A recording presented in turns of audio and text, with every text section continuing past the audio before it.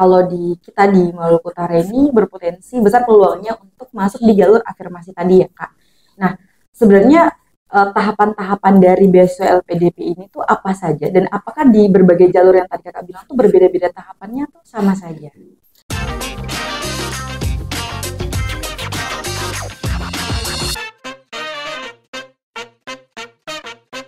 Nah, tadi menarik kalau kakak bilang soal LPDP itu tidak cari anak yang pintar, tapi cari yang mau mengabdi kepada negerinya.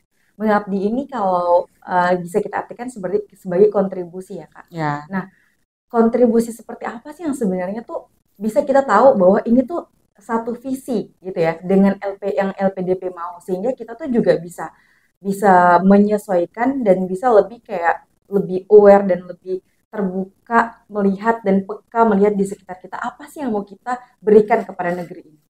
Ya, jadi yang dimaksud kembali ke Indonesia ini kayak afirmasi ini sebenarnya pemahamannya tuh luas, tidak mesti kamu ambil LPDP afirmasi.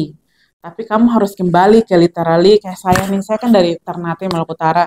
Saya harus kembali ke Ternate enggak, enggak harus. Yang penting kamu kembali ke Indonesia, bekerja di wilayah negara Indonesia itu sudah termasuk berkontribusi untuk negeri gitu. Tapi memang ada beberapa uh, kasus yang memang representasi Indonesia uh, di mata internasional. Misalnya ada anak Indonesia yang dia keterima di World Bank atau dia keterima di lembaga tinggi negara. Ya, itu mungkin kontribusinya bisa kerja di luar negeri tapi bermanfaat untuk Indonesia. Tidak hanya kepentingan profit pribadi gitu. Itu uh, beberapa kasus masih bisa dibolehkan, tapi memang secara overall yang penting kembali ke Indonesia untuk uh, mengabdi pada negeri gitu. Nah, LPDP mencari orang seperti apa? LPDP itu mencari uh, pribadi yang punya jiwa kepemimpinan kepemimpinan, terus punya integritas, profesionalitas. Jadi LPDP punya beberapa uh, tagline untuk uh, awardinya. Integritasnya di sini adalah uh, orang itu harus jujur gitu, harus kembali, dia harus jujur. Dalam arti ini kan nanti LPDP ini tuh dia tidak mengontrol secara spesifik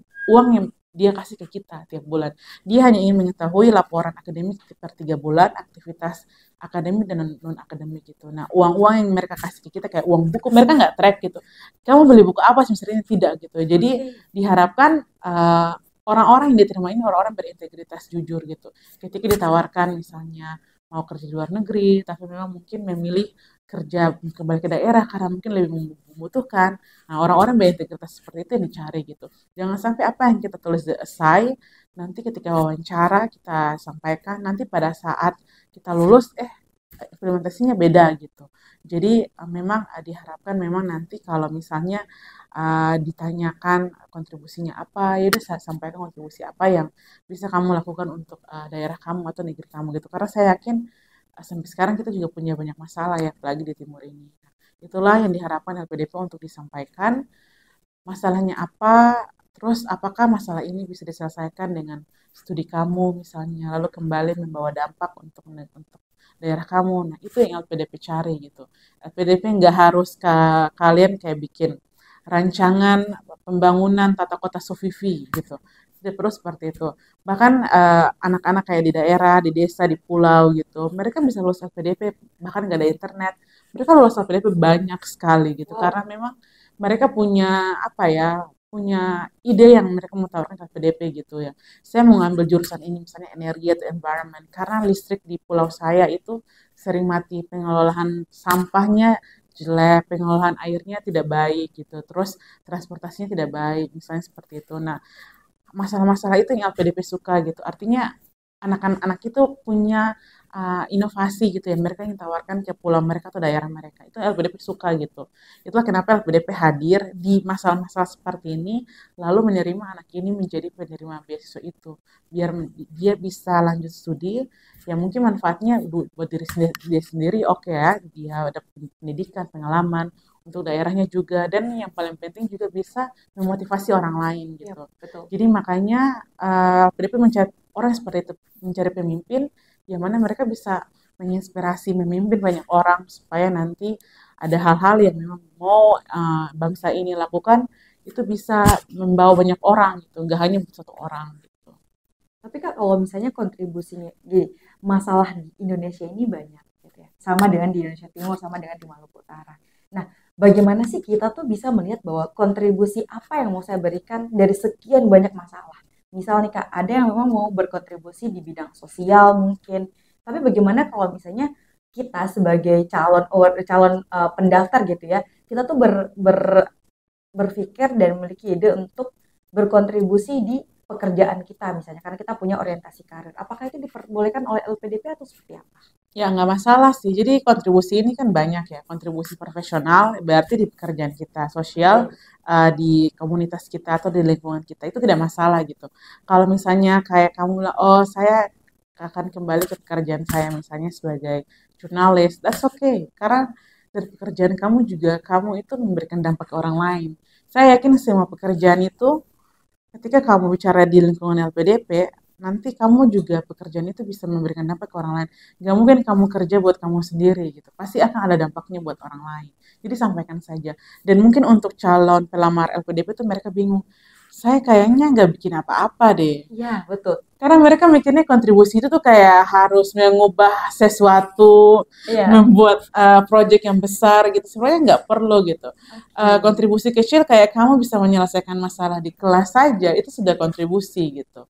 Misalnya nih, uh, ada teman-teman yang datang terlambat, terus kamu bilang, ya saya juga ingin uh, memotivasi teman-teman saya untuk datang terlambat biar kita cepat belajar biar guru masuk tepat waktu seperti itu jadi tidak harus itu contoh ya tidak harus uh, kontribusi yang besar gitu. Karena tidak semua orang kan punya power untuk ini ya, kan. itu dia kak. Makanya nah kontribusi ini itu berarti dalam bentuk perencanaan ya kak masih dalam rencana atau yang sudah terrealisasi nih nah di LPDP itu ada dua jadi kontribusi yang telah dilakukan dan yang akan dilakukan Uh, mungkin contohnya saya dulu, apa ya kontribusi yang saya lakukan ya?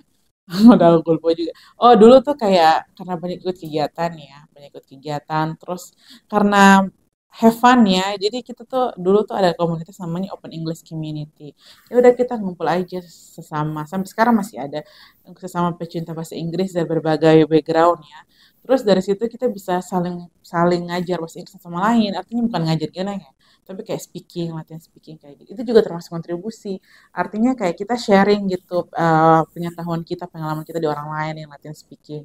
Terus kadang juga kayak suka ngajar bahasa Inggris di anak panti kayak gitu atau juga kayak misalnya kalau kamu join di salah satu organisasi misalnya kan suka ada kegiatan uh, amal tuh uh, sosial tuh misalnya bersih bersih pantai kayak gitu. Sebenarnya dulu tuh banyak banget kegiatan kayak gitu. Jadi itu bisa di bisa dimasukkan gitu walau satu dua gitu itu bisa dimasukkan gitu. Yang penting dalam essay itu kita nggak harus menulis semuanya tulislah sesuatu yang kamu ingin dilihat sama reviewer gitu. Yang paling penting yang pengen ingin dilihat. Kita kalau mau masukkan kegiatan kita kayak kegiatannya Cahaya kan pasti banyak banget ya. Tapi masukkanlah kegiatan yang paling impactful dan yang paling relate to uh, backgroundnya Cahaya nanti mau studi. Misalnya Cahaya udahnya apa? Ekonomi ya. ya. Berarti kontribusinya uh, ya udah benar ekonomi. Mungkin pernah bikin sembako gratis atau membantu UMKM atau apa. Pokoknya yang berhubungan dengan jurusan studinya Cahaya gitu. Saya yakin tiap orang tuh pasti punya itu gitu. Cuma memang menumpahkannya ke esai itu yang kadang ya, betul banget tricky. Ya itu agak ngambang ya. Kadang-kadang kan kita sudah tahu caranya, tapi ketika memulai kita menemukan beberapa kendala. Nah, tadi menarik soal tahapan-tahapan itu ya, Kak. Nah, salah satu tahapannya tadi yang Kak Hera sampaikan ada wawancara. Ini juga sangat um, bisa buat kita nervous dan overthinking biasanya. Nah, apa sih Kak kunci dari ketika kita wawancara tuh bisa dilirik oleh uh, pewawancara atau interviewer dari LPDP? Hmm, kalau aku tuh kalau pertama sih jujur sih. Oke, jujur. Jujur itu paling penting soalnya kelihatan gitu kamu bohong dan di LPDP ini tuh interviewernya tuh ada satu psikolog. Oke, menarik. Mm-hmm. Ada berapa interviewer Kak sebenarnya? Tiga. Okay. Jadi satu uh, kalau dulu saya tuh dua akademisi, satu psikolog. Jadi memang uh, yang pertama tuh uh, jujur aja, terus berintegritas aja. Jadi kalau kadang tuh kayak suka dipancing-pancing atau kayak suka di bukan dipancing ya artinya kayak meyakinkan gitu putar-putar jawaban putar-putar pertanyaannya intinya sama gitu. Jadi uh, itu sih yang penting itu sama uh, kalau ini sangat normatif ya artinya usahakan apa yang kamu tulis di administrasi itu kamu tahu gitu. kayak misalnya esai kamu itu udah di luar kepala gitu. Artinya jangan sampai apa yang kamu tulis beda sama apa yang kamu sampaikan. Oke lah kamu nanti pas tulis administrasi udah lolos nih esai kamu terus kayak ada sesuatu yang mungkin keliru atau kamu lupa tulis. Nah itu nggak apa-apa kalau mau disampaikan ke wawancara yang penting jujur ya gitu. Jangan sampai mengada-ngada gitu. Jadi menurut saya latihan itu penting. Latihan ini bukan berarti kita make up story atau kita bohong ya. Latihan ini supaya mempersiapkan mental kita dalam menghadapi wawancara gitu. Artinya apakah siap nih kita ditanya. Apalagi dulu saya itu kan in person ya. Kalau sekarang wawancaranya online sejak COVID ya, jadi online. Dulu tuh ng ngadap langsung mereka tuh kayak di sidang kayak terdakwa. Kan agak uh, apa namanya agak tingkat dikit kan, jadi tiga orang, saya ke bawah dikit, jadi ditanya seperti itu. Jadi kayak cara duduk, cara bicara gitu. Maksudnya supaya kita kelihatan sopan dan baik juga kayak gitu. Dan lebih percaya diri ya. Dan lebih percaya diri seperti itu. Jadi kalau boleh sih uh, latihan wawancara gitu latihan wawancara artinya kayak cara menjawab gitu jangan sampai kita ulang-ulang kayak setiap pertanyaan dibilang terima kasih pak jawabannya kalau awal oke okay lah satu dua kata tapi kalau bayangkan kalau tiap pertanyaan bilang kayak gitu kan bosan ya jadi memang hal-hal kecil kayak gitu tuh uh, ya berpengaruh juga ya di kita kalau wawancara. Kalau untuk wawancara sendiri kak apakah berbahasa Indonesia atau berbahasa Inggris atau seperti apa? Hmm, bisa dua-duanya. Bahkan LNDN itu bisa dua-duanya. Uh, tapi uh, bahkan ada yang LN nggak bahasa nggak bahasa Inggris sama sekali gitu. Jadi itu memang sangat subjektif ya, tergantung uh, interviewer mereka mau pakai bahasa apa. Tapi alangkah baiknya ya udah kita ready ready aja gitu mempersiapkan pertanyaan. Dulu saya juga di mix pertanyaan.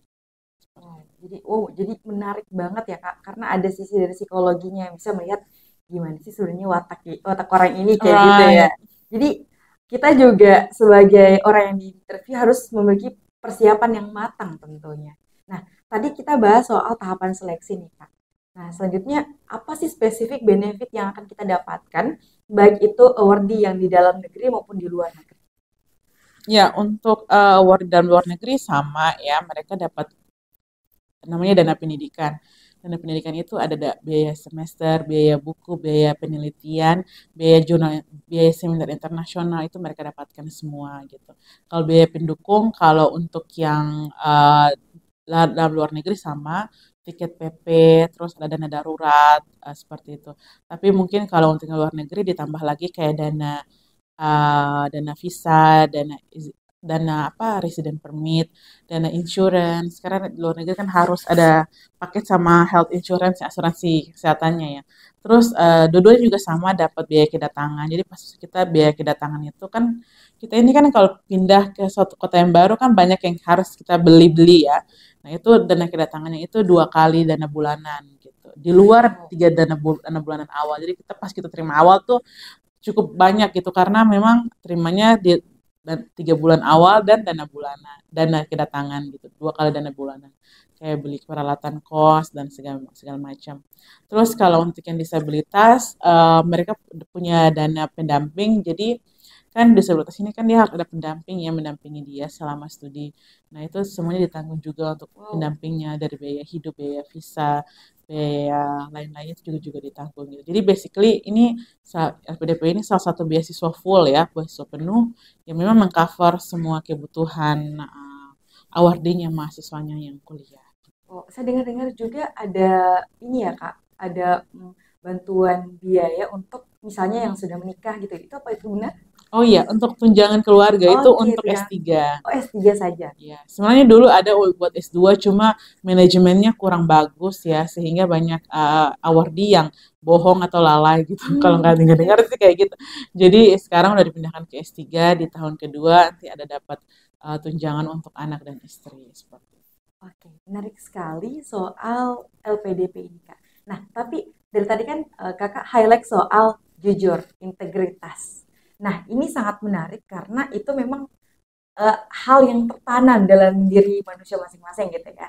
Nah, ada nggak sih kak kasus dari penerima award ini uh, ternyata karena misalnya ya ketidakjujurannya misalnya sampai beasiswa yang tersebut diambil kembali oleh pemerintah atau seperti apa? Adakah yang diberhentikan di tengah-tengah masa studi? Dan biasanya kak karena penyebabnya itu karena apa?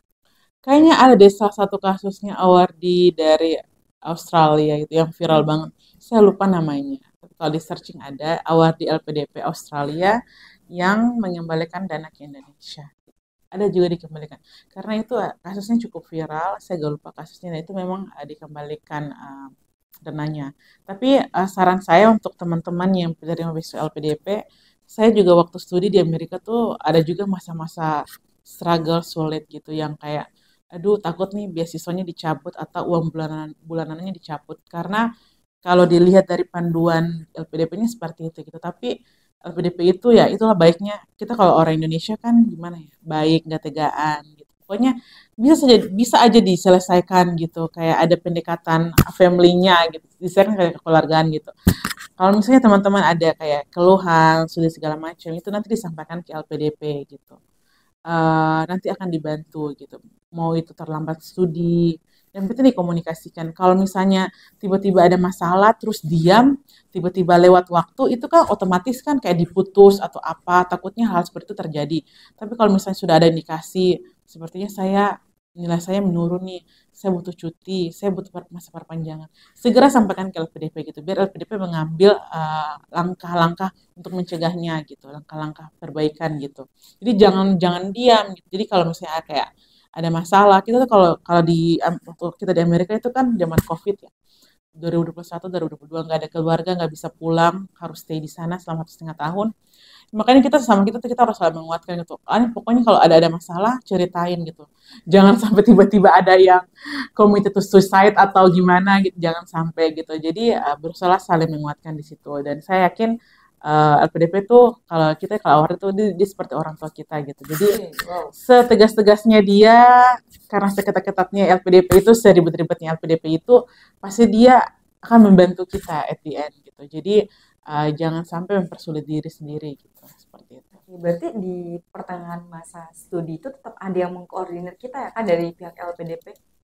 Nah, tadi tuh menarik kalau kakak bilang kalau misalnya lambat dari misalnya lebih lama dibandingkan masa studi yang harusnya itu bisa minta per, perpanjangan seperti itu ya.